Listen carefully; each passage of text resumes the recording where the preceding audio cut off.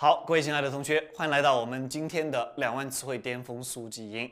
那么今天已经是我们的第二十二节课了啊。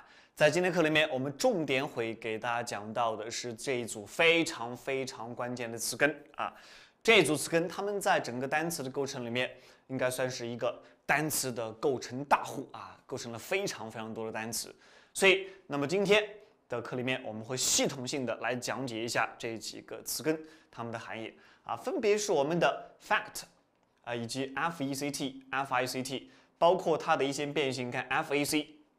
好，这个是由 fact 把 t 字母给去掉了啊，包括这个 f i c，那这个又是由这个 f i c t 把这个 t 字母给去掉了，对不对？包括这个 feet 啊，feet，包括这个 f e i t 的这个 feet。好，这些词根它们本质上都是一回事情，因为我们说了。中间的元音字母或者是元音的组合改变，它的含义是不变的。这是第一个。第二个，你看它们的尾辅音，要么是 s 啊，要么是 t，呃，这些都是一些读音相似可以转换的关系。所以，那么这些词根它们的含义基本上是一致的。来，本什么意思呢？我们来认识一下，各位。好，这几个词根它们的含义，来，各位，啊，表示什么呢？它们的含义一般情况下就表示的是叫做什么呢？make 或者是 do 啊，表示做这个基本的意思，表示做啊做啊，或者是这个造啊啊这个基本的含义做啊，或者是造什么什么东西。所以这个 fact 包括 f e c t 等等这一圈，全部都表示做啊 make 或者是 do 这个基本的意思，或者是造。好，那么知道了这个，下面很多东西单词就很好理解了。来，各位，我们先看一下啊，从简单的开始。首先，我们说一下这个单词叫 fact。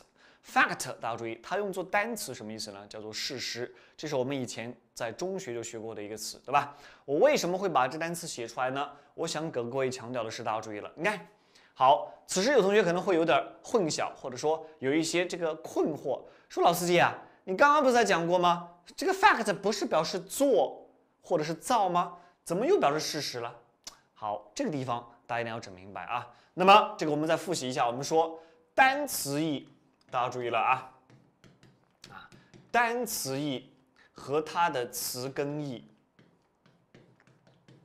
在英文里面，有的时候它可能是截然不同的啊，有的时候它是截然不同的。比如说，我给你举个例子，你看我们有一个单词叫做 law，表示的是法律，对，好，表示的是法律。现在我们有一个词根啊啊，这个表示什么呢？叫做 lag。好，什么叫词根 lag？词根 lag 它也表示法律，但是你会发现啊，如果是单词呢？如果是单词的 lag，来，单词的 lag 表什么？单词的 lag 是不是表示大腿？对吧？这个表示大腿，所以你就会发现啊，你看，哎，为什么一个叫大腿？一个叫做法律，各位，其实啊，这个 lag 表示法律是由 law 演变出来的，它并不是由 lag 演变出来的，它们只是碰巧长得像。也就是说，单词义和词根义它可能是截然不同的啊，是截然不同的。所以你看，我们还有一个，比如说，我们有一个单词叫做 man，对不对？单词 man 我们叫做男人，但是词根 man 好，词根注意。我怎么去区分它到底是单词还是词根呢？我前面一般打一个横杠，表明这是个词根。词根 man 就不是男人，而是表示手，对吧？而是表示手。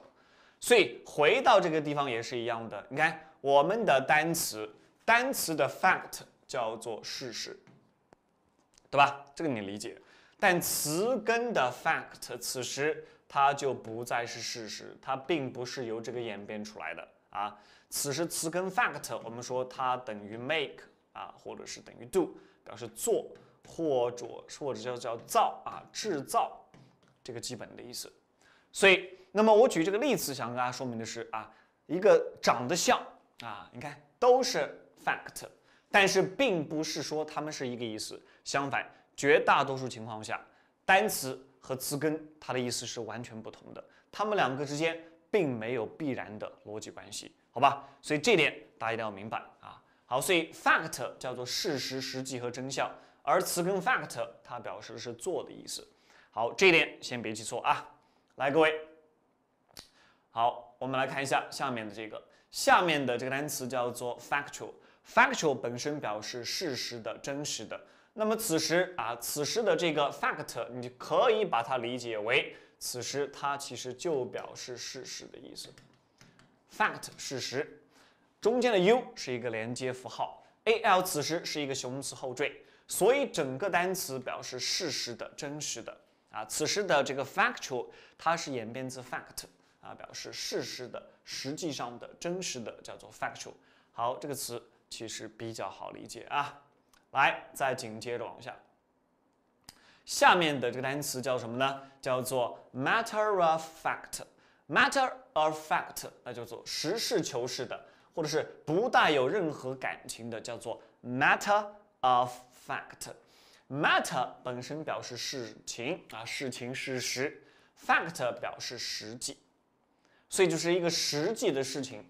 所以 matter of fact，注意了。两个东西，这个把中间连在一起，此时它的词性，它是一个形容词，所以就是它的表达的含义是什么呢？就是是一个实际的事情，啊，是一个实际的一个真实的事情，啊，所以叫做实事求是的，不带任何私人感情的，都可以叫做 matter of fact，啊，这个叫实事求是的，不带任何私人感情的，叫做 matter of fact。好，这是这个词。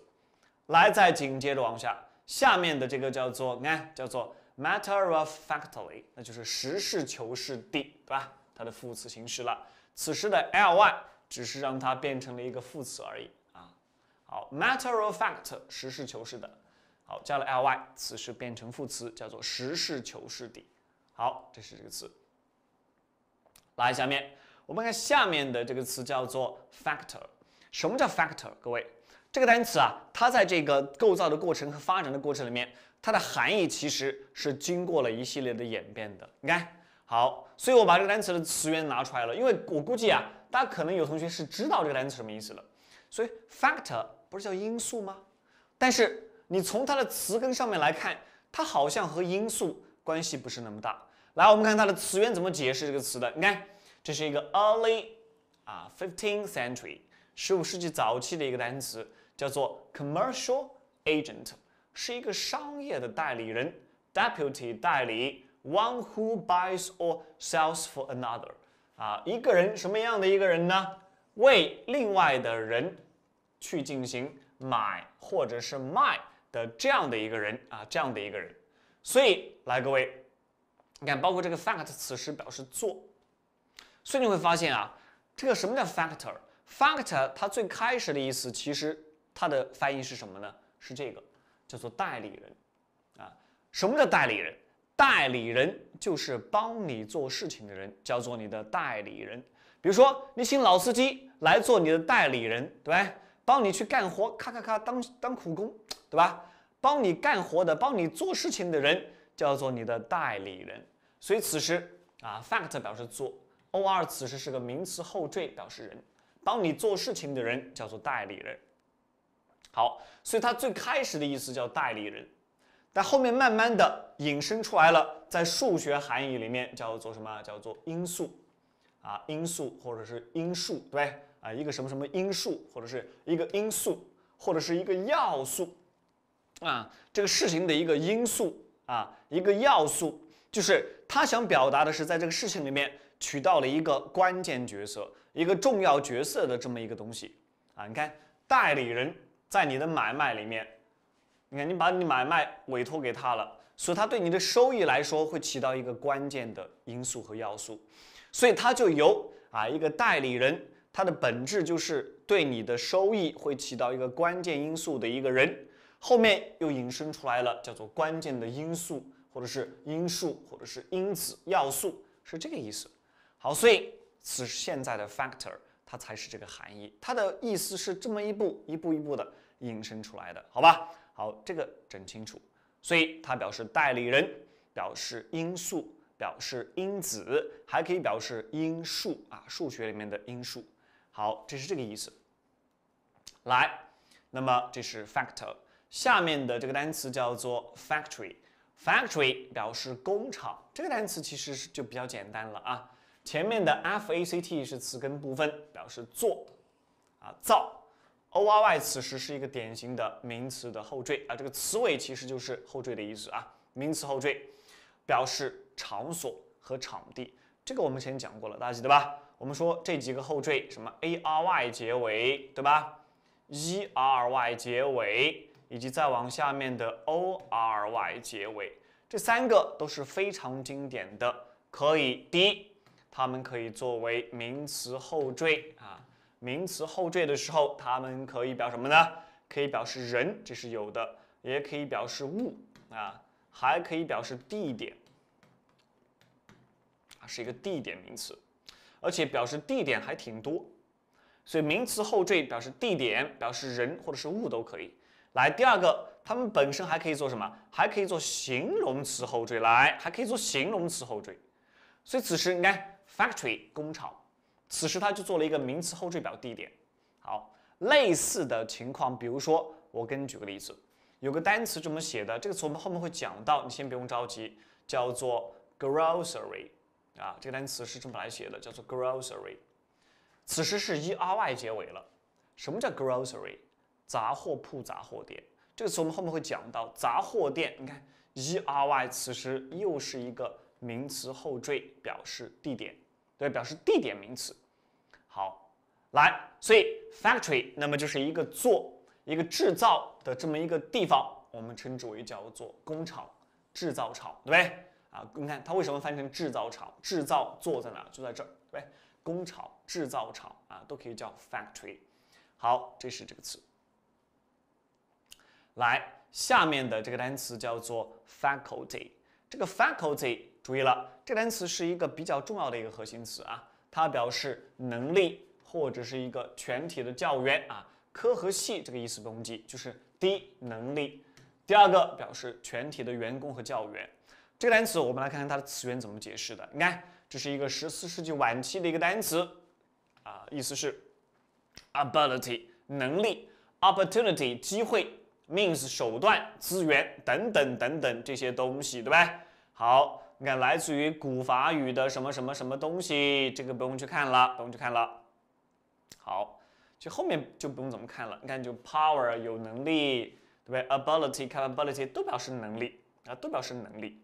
好，你看，好后面什么一这个它你看来自于什么？来自于 firstly 叫做 easy to do，就做起来很容易啊，做起来很容易。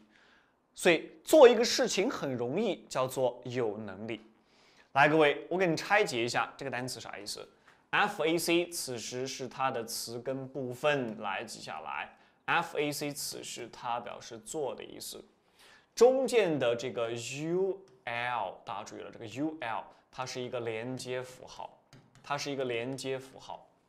再加上 T Y，此时它只是一个名词后缀，对所以它指的是啊做事情的能力。或者是很容易去做什么事情，这个单词啊，faculty，它以前是写作这个样子。你看，我给你看啊，它以前是写作 f a c，对不对？i l i s 是写成这副造型。这个 i l i s 这个东西啊，它表示 easy，表示容易啊。这个待会儿我们就会讲到，表示容易。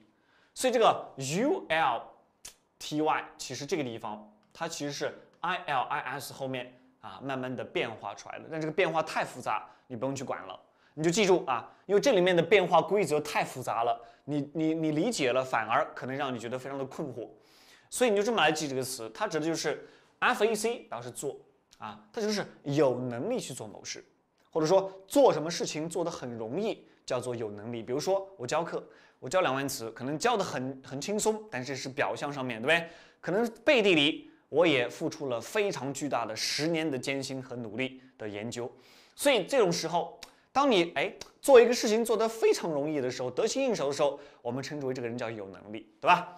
所以 faculty 注意了，它的第一个意思表示能力啊，表示能力；第二个意思表示教学全体的教员啊，一个学校里面的全体教员叫 faculty。比如说 faculty member，faculty member 就翻成教员就可以了啊。好。来，这是这个单词，稍微的留意一下啊。所以它指的是 FAC，表示做连接符号替换名词后缀，所以做事情的能力，或者指的是做事情的人啊，做事情的能力就是能力了啊，做事情的人，此时它指的是，尤其指的是在学校里面做事情的人，我们称之为叫做教员啊，全体的教员啊，全体教员叫做 faculty。好，这是这个词，表示能力，比如说 the faculty The faculty to speech，to give a speech。来，the faculty to give a speech，那就是做一个演讲的能力。此时表示能力，表示教员的时候，我们刚刚说了，比如说 faculty member，那也是翻成教员啊。某个教员叫 faculty member，而 faculty 此时它是一个集合名词，表示全体的教员啊，全体教员。好，来，比如说你看这个搭配叫做 devoted。faculty，那就是有献身精神的这些教员，devoted，忠实的、忠诚的、愿意付出一切的，都可以叫 devoted。所以 devoted faculty，我们此时就翻译成叫做有奉献精神的教职人员。好，此时就可以了啊。来，下面的这个词是我们要重点讲到的一个单词，叫做 facile。什么叫 facile？Facile 表示容易做的和容易的，各位，前面的这个部分 fac 这个很容易理解，表示做。关键的后面这个 il 是什么？大家记得吗？其实这个 il 我们是不是早就讲过了？各位，我们说它等于 able，able 又演变自 able。我们当时在讲这三个后缀的时候，大家还有没有印象？我们说第一，它可以做形容词后缀。表示能够怎么怎么样的，可以什么什么的，对不对？能够怎么怎么的，可以什么什么的，它的第一个功能。它的第二个功能是什么呢？表示容易什么什么的，我们讲过了吧？容易怎么怎么样的。好，这是它用作形容词后缀的时候。当然，它还可以用作名词后缀。好，用作名词后缀。所以此时。啊，它就是表示容易怎么怎么样。你看，它原来是写作这个样子。来，所以这个 faci 等于 fact 表示做，is 等于 easy。来，各位各位看好了，这个 is 它其实也是一个词根，啊，也可以做一个词根。此时它演变自 easy，怎么演变？你看好了，e a 是发 e，，这也是发 e，，一个短音一个长音。元音改变，意思不变，ss 保留下来了，所以这个 is 它表示 easy，叫容易，啊，叫做容易。好，所以来各位啊，一样的，所以一个事情容易做的，容易的，对不对？容易做的，容易的，就叫做 facile 啊，容易做的，容易的叫做 facile。好，这个单词就出来了，容易做的，容易的叫 facile。所以 il 它表示容易。但包括 able，它也有这个意思，表示容易的意思啊。好，来，那么认识了这个单词，下面我们很多单词就可以迎刃而解了。比如说，我们看这个词，你看这个词叫什么呢？叫做 facility。facility 这个单词来，它的第一个意思叫什么呢？叫做容易啊，便利、灵巧。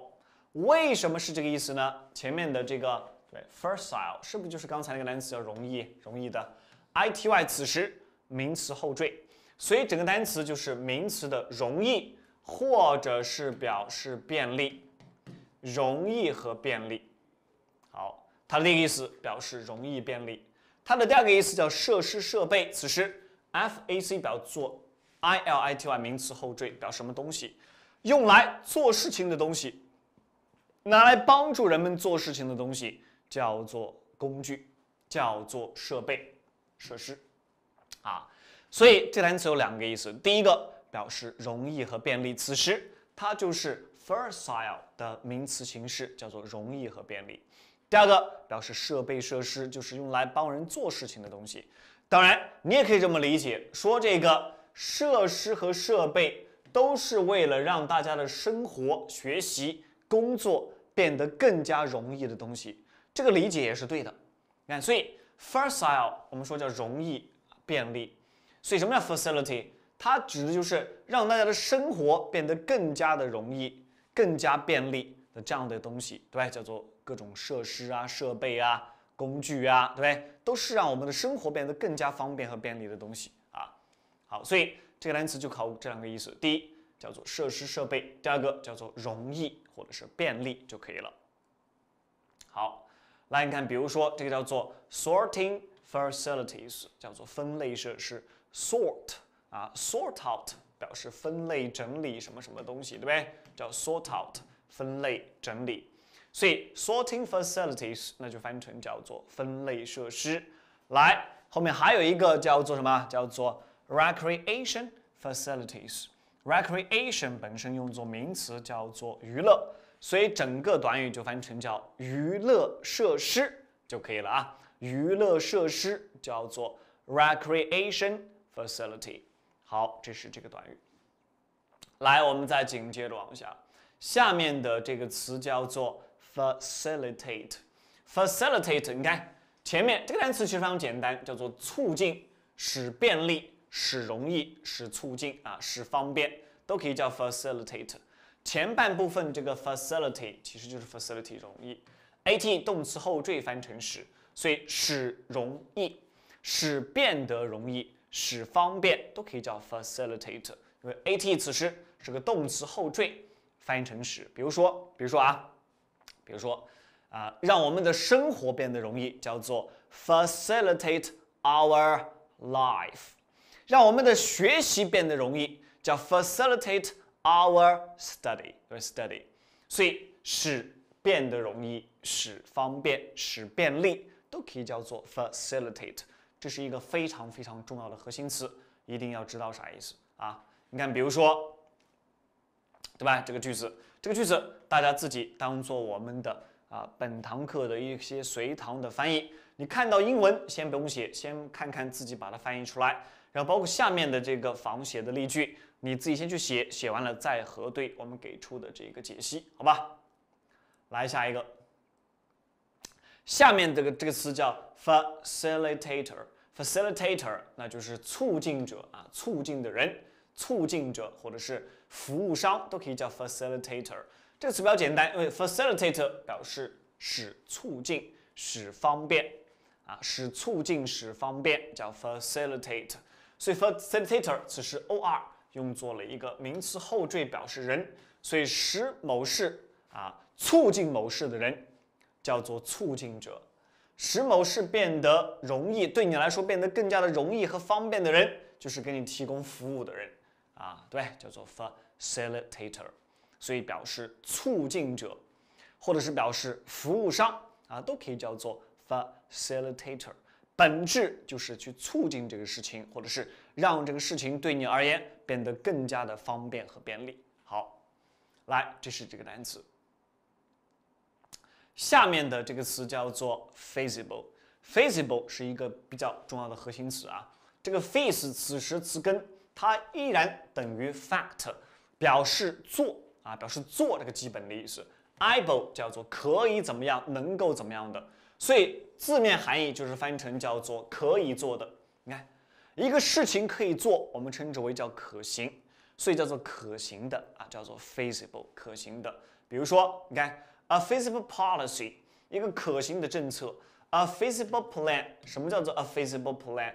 一个可以去做的计划，来，一个可以去做的计划，可以去执行和实施的计划，叫做 a feasible plan。好，所以这个词注意叫做可行的、可操作的，都可以叫做 feasible。好，这是这个词。来，下面，下面的这个单词是它的一个名词形式，叫做 feasibility。feasibility 表示可行性啊，可行性。前面是 feasible，前面部分啊 feasible，后面的 ity 是个名词后缀，所以整个单词啊就表示可行的这种程度，叫做可行性。好，可行这种状态或者是程度，所以 feasibility 叫做可行性就可以了啊，可行性。好，下面的这个词叫做 fake，注意了，叫 fake，fake 这词名词表示假货、骗子，动词表示捏造。还可以做形容词叫伪造的，你会发现，不管它用作动词、名词、形容词，都是一个字，就是假。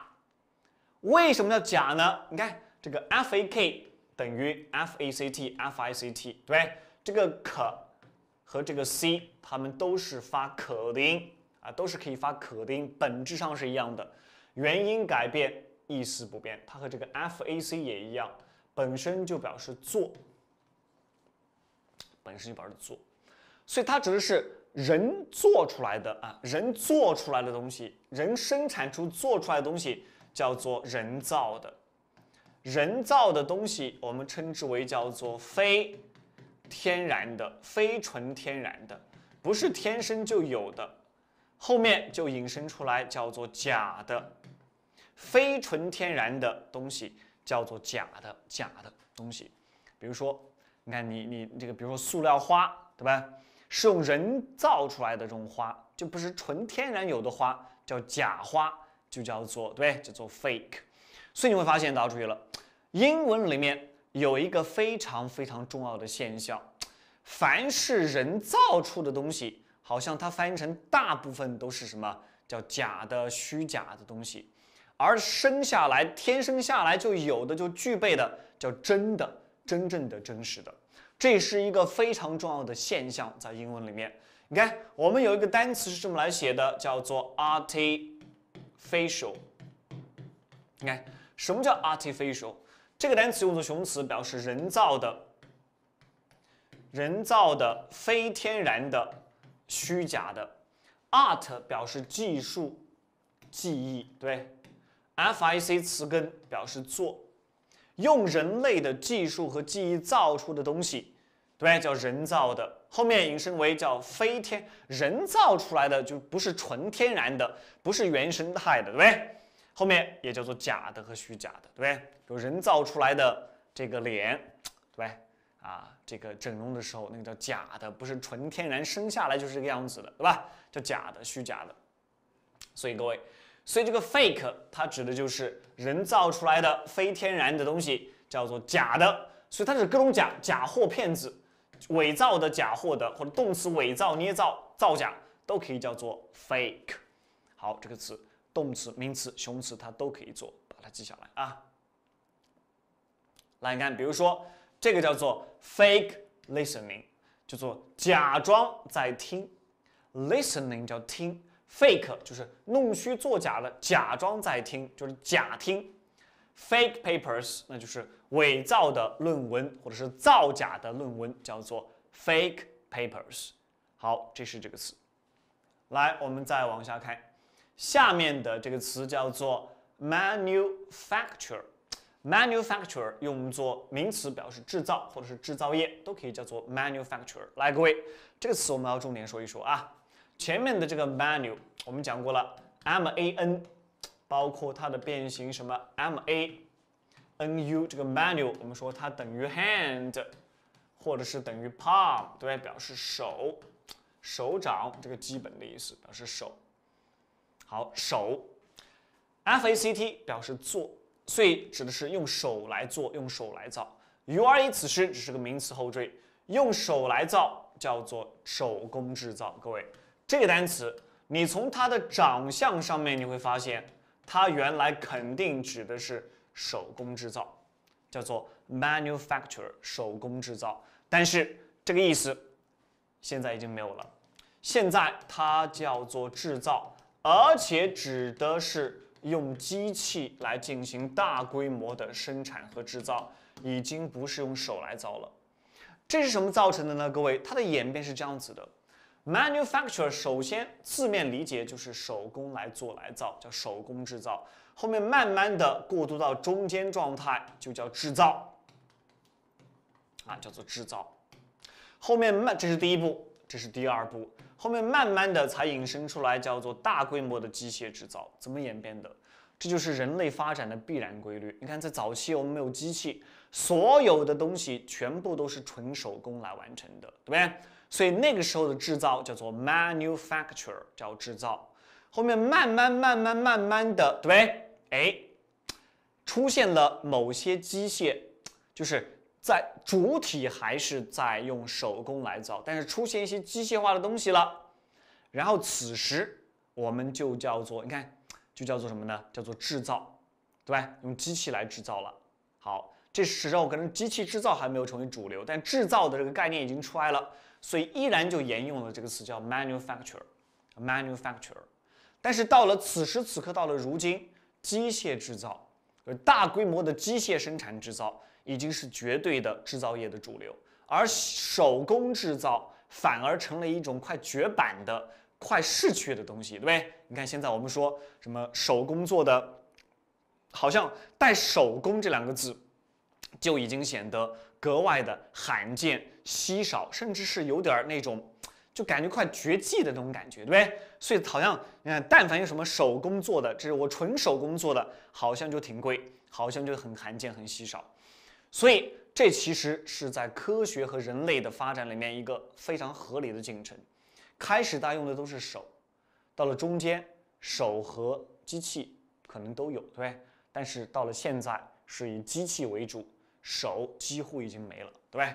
所以它是这么一步演变出来。首先叫手工制造，后面叫做制造，后面现在啊大量指的是大规模的机械制造了。它是这么来的。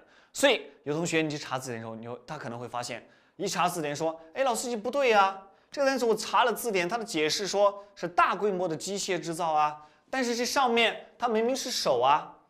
那手，因为在你的概念里面，用手来造和用机器来造，这是完全是两码事儿。好，所以我帮你梳理一下，这是单词在发展里面的逻辑。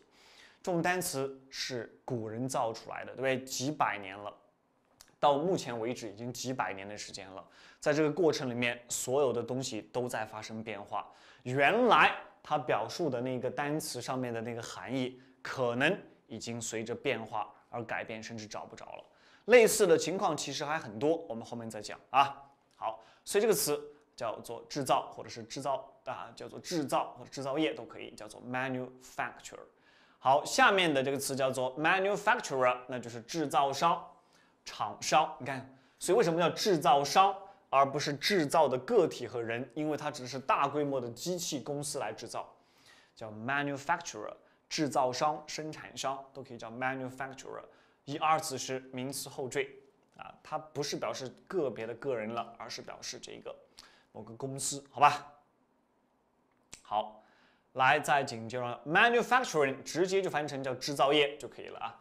Manufacturing 制造业或者是制造的名词形式啊，叫做 manufacturing。好，这些其实没啥好说的啊。来，manufactured 那就是制造的，加了 ed 变成一个它的形容词形式，这个比较容易理解啊。好，这些我们就不再啰嗦了，因为都是一个同样的类型造出的词。来，好，下面我们要好好说一说这个词。这个单词叫做 difficult。有同学说老司机啊，这个不需要说，这个我早就会了。你知道 difficult 比较困难的，但你知道为什么它比较困难的吗？我估计你不知道，对？因为你以前是通过死记硬背强行把这个单词背下来的。那么现在我再帮你折回去。从科学的、理性的和词源学的方向，让你真正理解这个单词为什么叫困难的。来，各位，好，这单词是用来构成的？前面的前缀 dif，dif 此时等于 dis。我们说这是一个典型的辅音同化现象。dis 再加上做一个这个 fic 东西的时候，对吧？为了让这两个单词更加的和谐，组成一家子的时候，发音更加顺畅。于是乎，s 就被辅音同化成了 f 去了，所以就造出了叫做啊 diff。否则你看 d i s f y d i s f y 就很奇怪，但 difficult 就简单，对吧？好，所以叫 difficult。中间的这个 difficult，好，其实就是演变自这个地方叫做 facilitate，表示容易啊，容易，对不对？不容易啊，所以容易。中间这个这个这个 difficult，注意了。这个 difficult 其实就是演变自 facility 啊，这个 facility 的这个这个部分，中间只是元音改变，含义不变，所以不容易的叫做困难的，理解没有？所以这个部分其实它在模仿的是这个叫做 facility 容易这个词词根，所以叫不容易的叫做困难，叫做 difficult 啊，它这个单词这么来的。好吧，好，下面的这个叫 difficulty，difficulty 没什么好说的了，前面是 difficult 加了 y，，y 此时个后缀了，此时用作了名词后缀。注意了啊，并不是说 y 在后面它一定是个名词后缀，不是，y 结尾的有几种情况，它有可能是一个名词，也有可能是形容词，这都是有的。只不过在这个地方它用作了名词后缀，所以 difficulty 那就是困难啊，那就是困难啊，困境都可以。这个单词大家注意了，我们要说说它的用法，一般怎么来用呢？比如说在做某事方面有困难，注意了。说 have difficulty 已经这个 in 是可以省略掉的，in doing something。好，比如说我在背单词，我在背生词方面有困难，怎么说呢？叫做 I have difficulty。好，in 或者是 in 不要了，直接背单词叫做什么呢？reciting 或者是 remembering，对不对？reciting new words 或者是 remembering 啊，remember 记住背诵啊，remembering new words，所以这个 in 可以有也可以没有，在做某事方面有困难。那么这个短语是在写作里面大家可以经常用得上的一个非常非常好使的一个短语，好吧？把它记下来。好，这是这个词。紧接着往下，下面的这个词，各位，这个词非常有意思，叫做 fashion。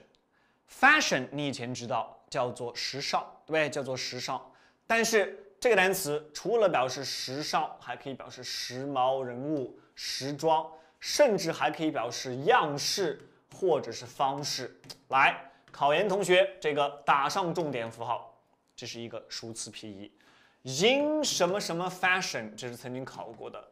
In 什么什么 fashion 就等于 in 什么什么 way。叫做用什么什么样的方式，用什么什么样的样式，啊，用什么什么方式，以什么样的方式和样式叫 fashion。好，首先我把意思跟你说一说。所以名词叫做时尚、风尚、时装、时髦人物叫 fashion，还可以表示样式和方式。in 什么什么 fashion 就等于 in 什么什么 way。好，这是第一个，你先把这几个重要的意思把它记下来。那么第二个大家注意了。这个单词为什么叫时尚？我跟你理解理解啊，它是怎么怎么就成了时尚的？你看它的词源怎么解释的？这是一个十三世纪的一个单词，很早了吧？好，看 physical makeup，只是身体的这种 makeup，一种化妆，对啊，这种物理上或者身体上的一种 makeup 叫做化妆，来里面有 make，对不对？or composition，或者是身体上的一种一种一种这种组成构成的东西。啊，form，对，一种形式。然后 appearance 一种外表等等等等，你看来自于法语。哦，古法语，时尚是这个单词是来自于古法语的，刚好和现在不谋而合。现在时尚之都其实就在法国巴黎，对这个地方，你看这个 fa 这个 fashion，你看它也面是 face 脸，它表示脸外表，你看 appearance 外表外貌等等这些东西，对不对？好，是一种外表外貌，things down beauty，对不对？好，做了那种比较美的一个事情啊，等等等等的。你看，后面又来自于拉丁文，说是什么？a making or doing，就是一种 making，做了，他只是在脸上做了一些东西，做了一些东西，对不对？做了一些 preparation，做了一些准备，等等等等这些东西。好，来，所以啥意思呢？所以。他想表达的，刚才读了那么半天，好像这个在法语里面，这个 f a s 等于 face 表示脸，f a s 词根也表示做，所以它指的是在脸上做一些东西，其实就是 make up 化妆，化妆，然后人变得美美的，当时就成为了一种时装、时尚、流行的风尚和样式，所以这个单词是这么来的，好吧？啊。所以它最开始指的是在脸上做一些这种装饰，做一些这个东西，有点化妆的感觉。后面成了一种时尚、时装和时髦的事情，对不对？叫做 fashion 啊，样式。好，这个单词把它记下来啊。来来，不说了啊，不说了。好，所以这个单词 fashion 就是刚才我们讲过的这几个意思，把它记下来就可以了。来，下面这个词叫做。fashionable，那就是时尚的、流行的、时髦的，这个没啥好说的。able 此时仅仅只是作为一个形容词后者来使，啊，叫做时尚的、流行的、时髦的。各位，你看此时你发现没有？这个 able 它并没有翻译成叫做可以怎么样、能够怎么样或者容易，它并没有说可以作为时尚的、容易作为时尚的，不是，它就直接翻成了的，叫时尚的、流行的。这种情况是比较少见的，因为我们说 able，对不对？包括它的变形下面的这个叫做 able，以及最后的 ile，。绝大多数情况下，他们都是可以怎么样，能够怎么样，容易怎么样。这是极少数，注意了，这是在非常非常少见的情况下，极少数情况下，它才会不翻译成可以能，直接就是用作了一个形容词后缀，啊，翻译成的。所以 fashionable 就叫做时尚的、时髦的就可以了啊。好，这个你稍微留意一下，它是有这个功能的。来，再紧接着往下，下面的这个事情来，各位，看下面的这个单词叫做 affect，叫做影响，啊，一般就翻成影响就可以了，就 affect，a f 表示去怎么怎么样，a 后面跟两个连续的辅音，什么 a c c 啊，a b b 啊，a d d 啊，a 叉叉，讲过了吧？这个我们复习过很多遍了，a 和第一个辅音字母。它的功能要么表示加强语气，就是 intensive；要么表示去干什么，去怎么样。此时表示去怎么样。fact 表示做或者产生影响，去做了产生影响叫做 affect。你看它的名词形式叫 effect，影响效果，所以 affect 是动词，effect 是名词。去做一定会产生影响，叫做 affect 啊，影响到什么什么东西叫 fact。来。那么下面的这个例句，大家当做一个阅读材料下去，自己把这个句子读一读。这里面就出现了 affect 什么什么东西，对不对？此时用作动词就表示影响。好，大家自己去读一下啊。好，我们来看一下下面的这个词叫做 unaffected。什么叫 unaffected？因为此时我们说表否定，没有怎么怎么着，对不对？affected 叫做影响的，所以没有受到影响的，不受影响的。还可以表什么呢？还可以表示自然的、真挚的。哎，为什么不受影响的又引申成为了叫做自然的、真挚的？我给你举个例子就明白了。比如老司机，你看像这么大年纪了，对不对？依然保持了一颗童真的爱开车的心，这种感觉就是没有被外界的那种三俗啊那些东西东西影响到，所以就是没有受到影响，叫做真挚自然，依然保持了那种比较纯真的。特色和特点，对吧？这种感觉就叫做 unaffected，是这个意思。好，来，那么这个单词就这样了啊。好，下一个叫做 disaffected，disaffected 就是什么呢？叫不满的、不忠的，或者是表示什么呢？叫做愤恨不平的。那么这个单词大家注意了啊，它是这个意思。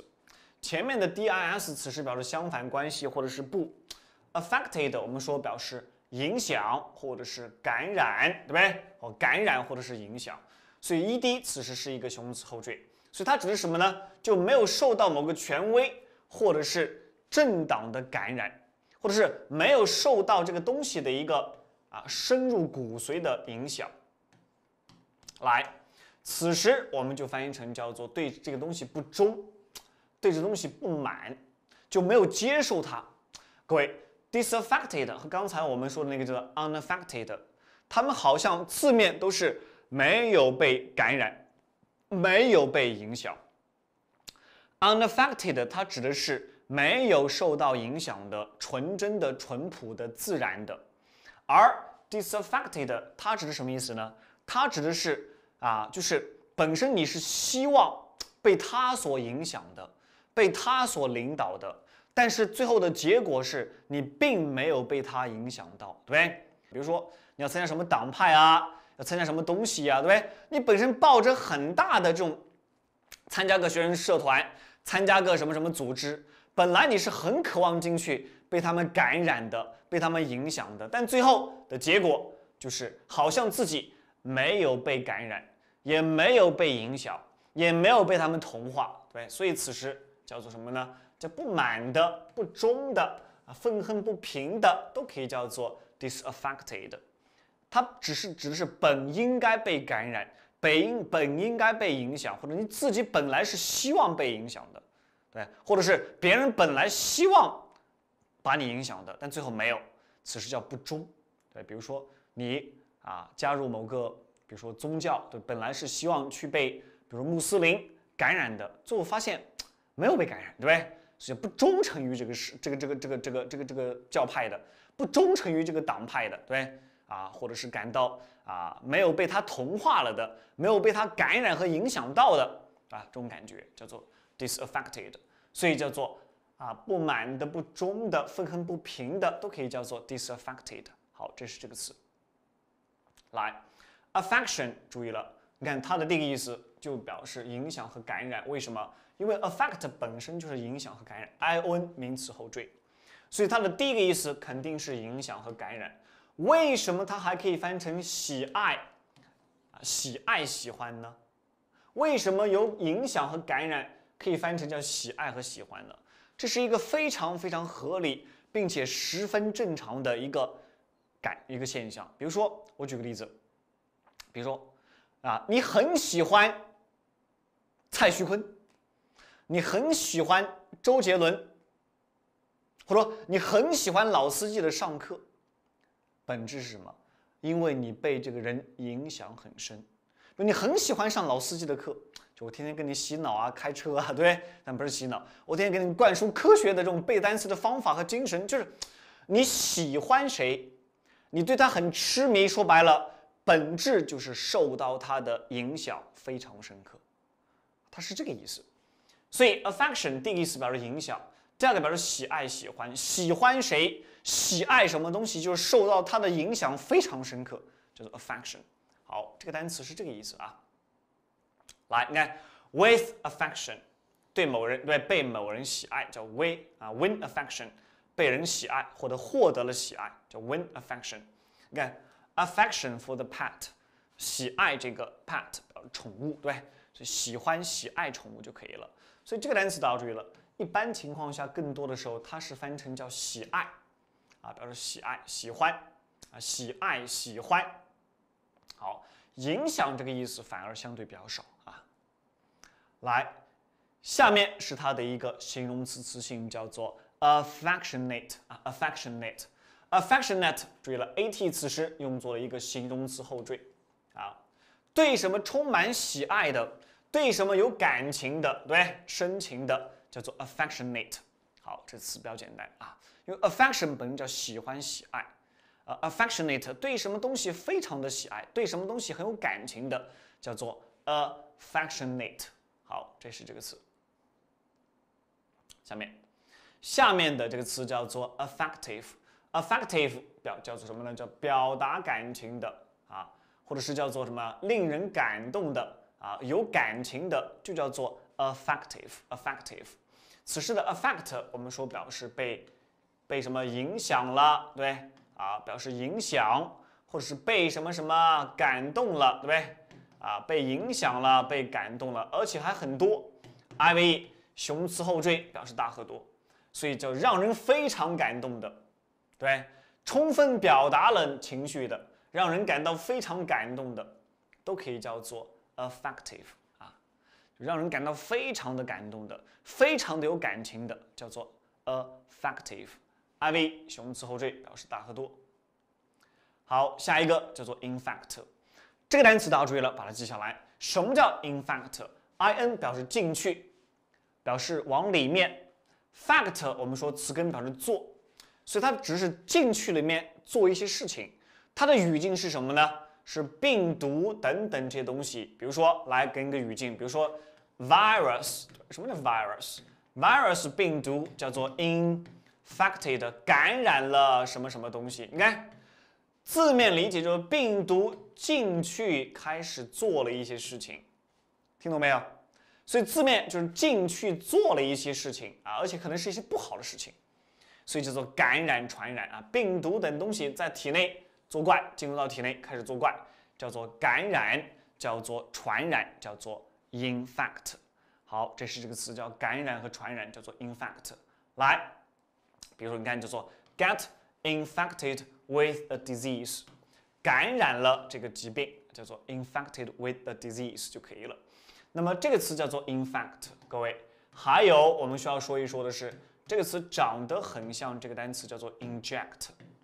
好，来，这两个单词啊，非常的有意思，它们长得非常相似，就只差了一个字母。你看，infect 它指的是什么呢？叫做病毒等等进入到你体内去开始作怪，叫做感染和传染。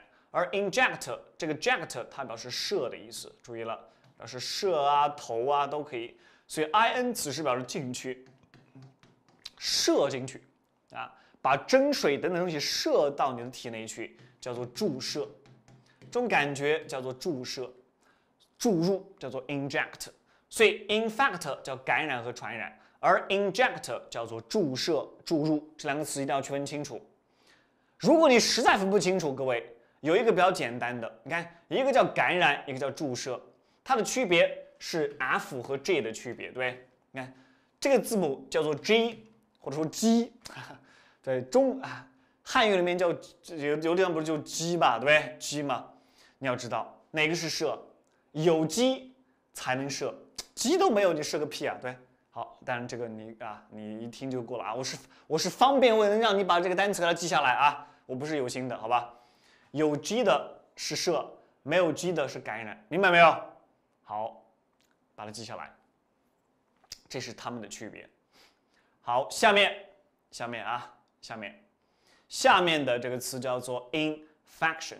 好，它的名词形式，这个没啥好说的。ion 是个名词后缀，所以这个单词叫做感染传染的名词叫 infection 啊。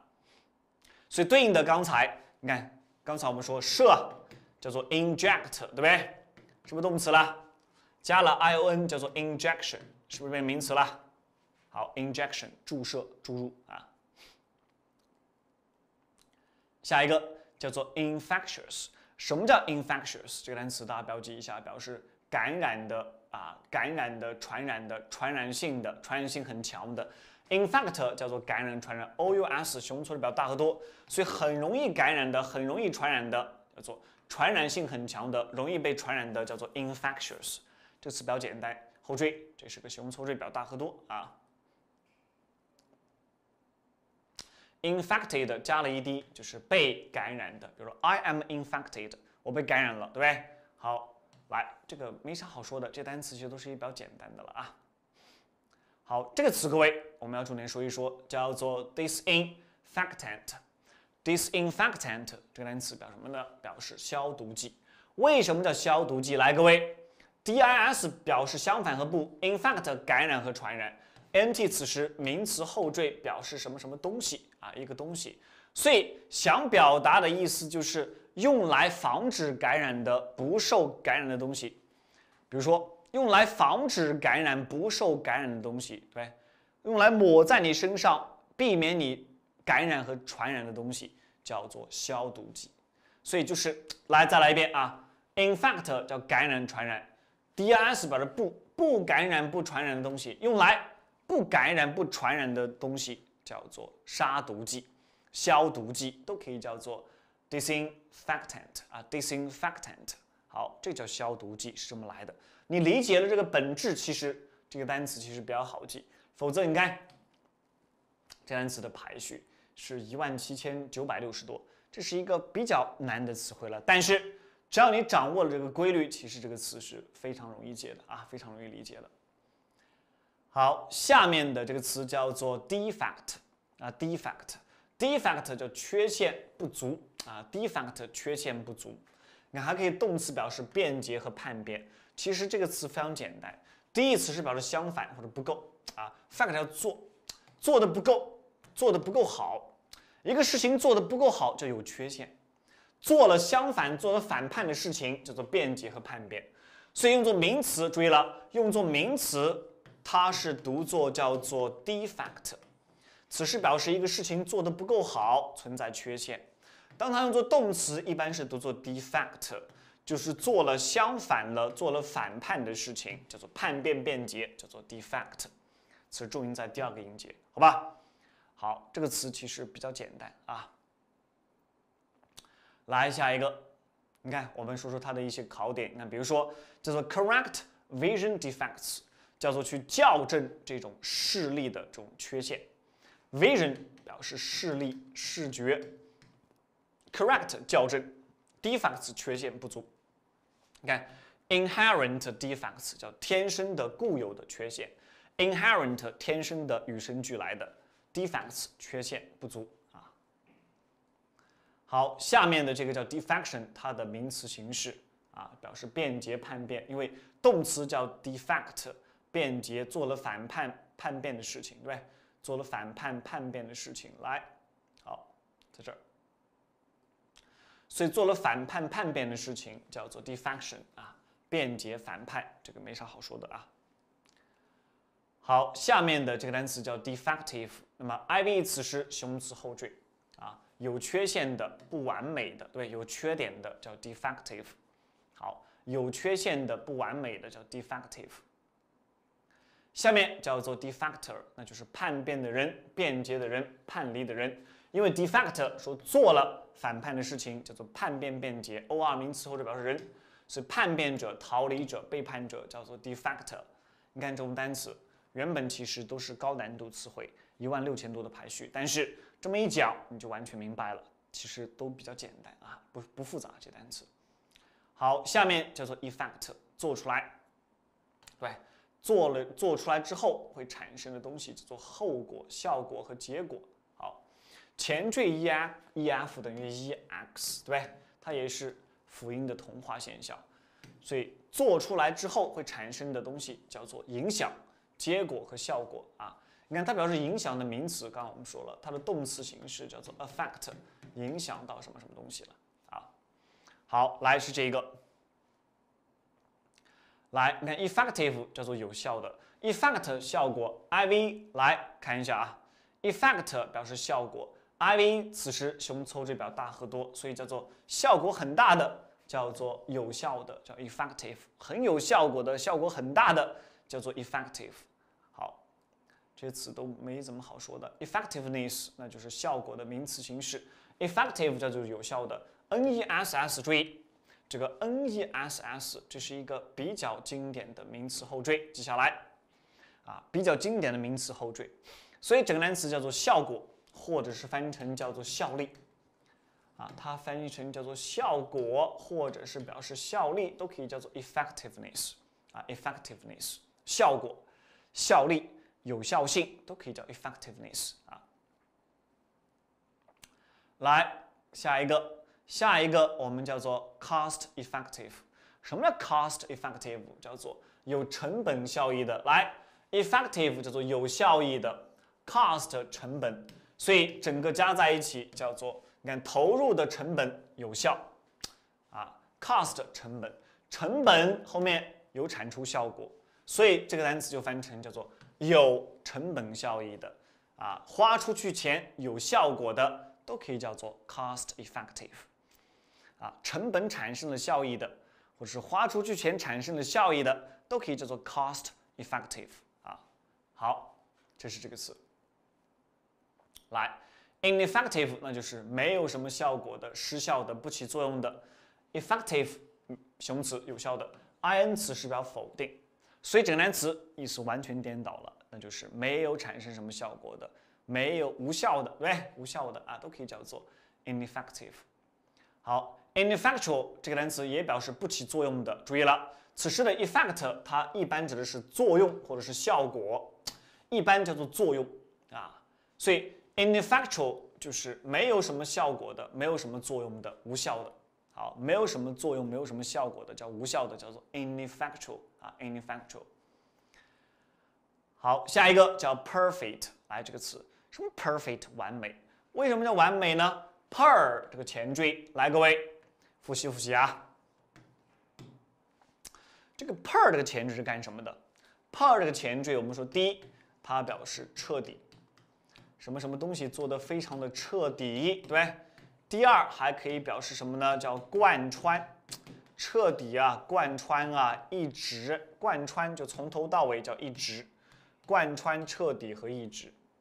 此时它表示彻底，F A C T 叫做把一个事情做得很彻底。叫完美，你看，一个事情被你做的非常的彻底，叫做完美，做的完美。所以这个单词注意了啊，它用作名词的时候叫 perfect，啊，用作名词或形容词的时候叫 per 啊，用一般用作形容词叫 perfect，完美的。而当它用作动词的时候叫做 perfect，动词使变完美叫 perfect，perfect 使变完美。而 perfect 一般是形容词叫完美的。好，把一个事情做得非常彻底，我们才能称之为叫做完美啊。Perfection，它的名词形式完美完善。I n 此时是个名词后缀，这个很容易理解啊。好，下面的这个叫做 perfectionism，叫做完美主义，这个没啥好说的了啊。Perfection 完美嘛，I S M 什么什么主义？各位，讲到这个地方，我们再复习复习，什么叫 I S M？什么叫 I S M 这个后缀？还有印象吗？第一，它可以表示什么什么主义，名词后缀，对不对？第二，它直接纯粹就是一个名词后缀不翻译，有没有印象？表示什么什么主义，或者是表示名词后缀干脆就不翻译。比如说，你还是否记得我们这些单词？比如说 optimism，optimism 叫做乐观主义，或者直接就翻成乐观的名词就可以了。乐观，或者是表示乐观主义。所以，并不是所有的 ISM 它一定都得翻译成主义，有的时候。它纯粹就是一个名词后缀，没有什么实际含义。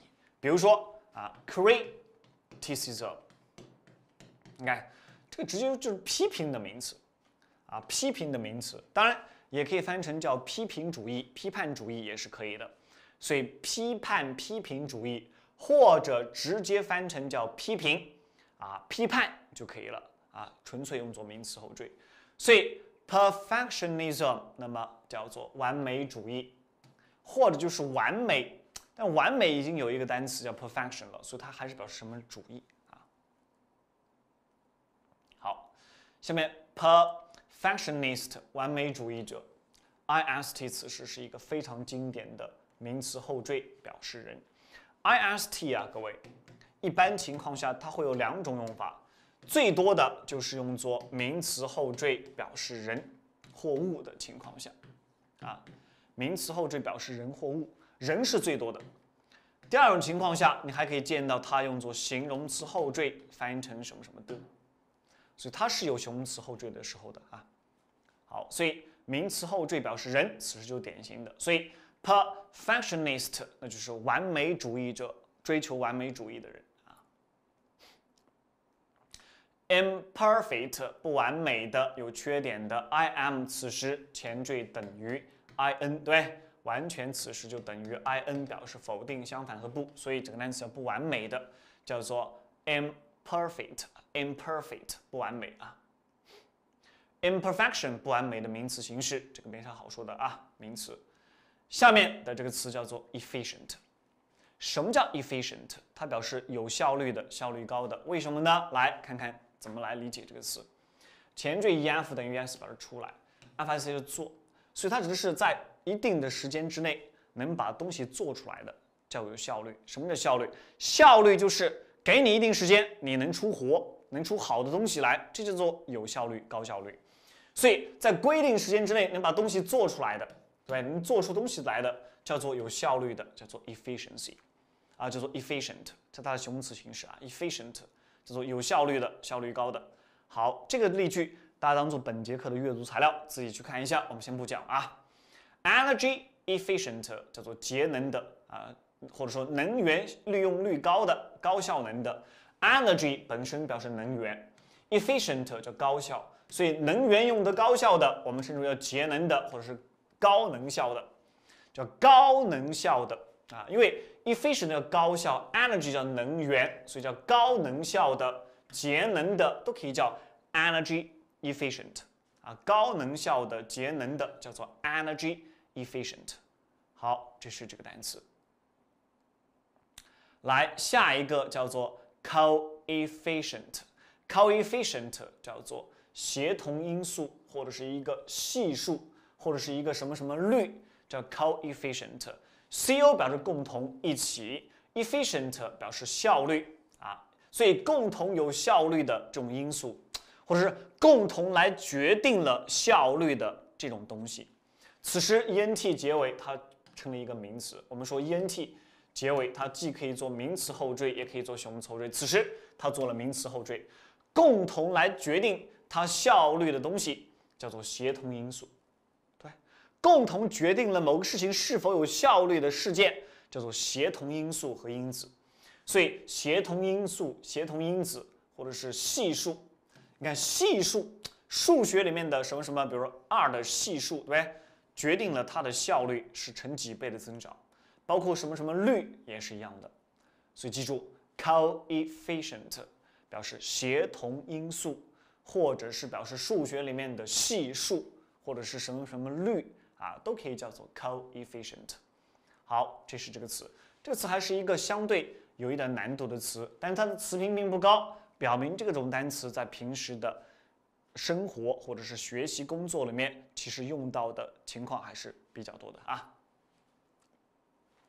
来，再紧接着往下，下面 inefficient，嗯，efficient 表示高效率的、有效率的，所以 i 表否定，这个单词就是没有什么效率的，效率很低的，叫做 inefficient。好，efficiency 效率、效能的名词形式，因为 efficient 是形容词。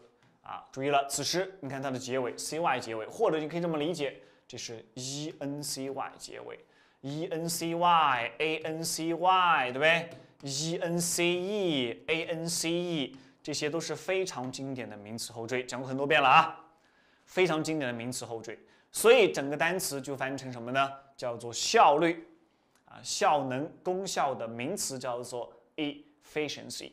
效率、效能、功效的名词叫 efficiency 啊，inefficiency 没有效率、缺乏效率、效率低，an 表否定，没啥好说的。efficacy 叫做功效和效力，注意了，它一般刚才那个单词叫做 efficiency，一般指的是效率的名词啊，一般指的是效率，叫做 efficiency，efficiency 效率的名词，而 efficacy 叫做功效。功效产生了什么什么功效，叫做 efficacy，ef 依然等于 yes 表示向外和出来，fic 表示做，acy 此时是个名词后缀，所以它指的是向外做出来东西了，就向外做出东西来了，做出成果来了，所以表明这个东西有功效起效果。所以比如某个药，对你吃了以后突然就变得。神情啊，对，神清气爽，精神焕发，对不对？那么就展示出它的效果来了，所以叫做什么叫功效、效力，叫 efficacy。什么什么东西的功效叫做 efficacy，就是你弄了以后做出它的做出成果了，或者是展现出成果来了，叫做有功效，叫 efficacy，功效啊，它的效率叫 efficacy。好，下面这个单词叫做 deficient。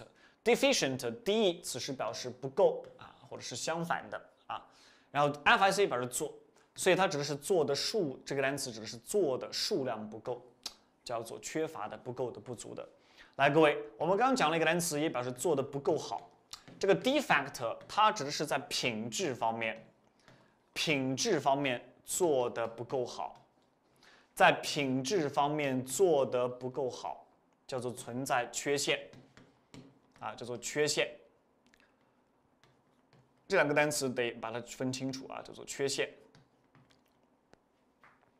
所以它的形容词叫做 defective，存在 defective 啊，defective 表示有缺陷的，存在缺陷的叫 defective。而这个 deficient 它指的是在数量方面做的不够啊，做的数量不够，达不到，对，数量做的不够，达不到。所以它一般表示数量不足的，数量不足的不不不充分的，它很少会翻成叫有缺陷。它指的有缺陷，也指的是这个数量方面有缺陷，不是说品质方面叫 deficient，好吧？所以 deficient 指的是数量不够、缺乏不足，而 defective 才是品质方面存在缺陷和差距。好，这是这两个单词的区别，把它把它记下来。来下一个，那叫做什么呢？好，做 mentally。mentally 啊，deficient，此时就翻译成叫 mental，表示思想、精神层面有一些做的不够好，叫做不健全啊，不健全，不健全也指的是不够，对，不不够。所以叫 mentally deficient，叫精神不健全啊，心智不健全都可以啊。好，deficiency 它的名词形式表示缺乏、不够啊，缺乏和不够啊，此时变成一个名词嘛？你看这是一个名词后缀啊。好，这个叫做 immune deficiency，叫做免疫缺陷。immune 形词表示免疫的，这个词我们后面会重点讲到，好吧？deficiency 表示缺陷，所以叫免疫缺陷就可以了啊。好，这个单词叫做 deficit。这个 deficit 第一词是它依然还是表示相反或者是不够，fic 表示做啊表示做，它指的是在财务方面做的不够好，叫做存在赤字和亏空，叫做 deficit。注意了，这个 face 其实为什么表示在财务方面呢？它这个 face 其实长得还很像这个叫 fiscal，fiscal 本身就表示叫做财务的。所以在财务方面做得不够好啊，做得不够好，叫做存在赤字和亏空，叫做 deficit。比如说啊，财务赤字，对，叫做 financial deficit。financial deficit，财务赤字。好，那么这个地方大家注意了，我再把这三个单词拿出来跟你说一说，它们三个的区别在哪儿？各位你注意了，第一个单词叫做 defect。因为字面的理解，他们都表示做的不够这种感觉，但是它的语境还是有一些区别的。来，第三个单词叫做 deficit，你看，字面 fac 做做做，对不对？啊，不好不好不够怎么之类的，它们长得非常相似，区别在哪？各位，区别就是语境。第一个 defect，我们说它指的是在质量、在品质方面。做的不够好，叫存在缺陷，叫 defect。品质方面做的不好，叫做有缺陷。而 deficient 它指的是在数量方面做的不够，叫做不够的。它指的是在数量方面做的不够好，叫做不足的、不够的。而 deficit 它指的是在财务方面做的不够好，叫做存在赤字。亏空，好，所以这些单词，它们的语境你一定要整明白，否则这些单词就没法非常好的去理解它的含义啊。好，你看 trade deficit，那就是贸易的逆差或者贸易的赤字就可以了啊。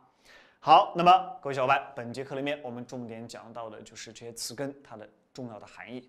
大家去抓紧时间，好好的复习，好吧？那么这个词根的单词我们还没有讲完，我们会在下一次课里面接着继续把它全部讲完，因为它构成的单词实在是太多了。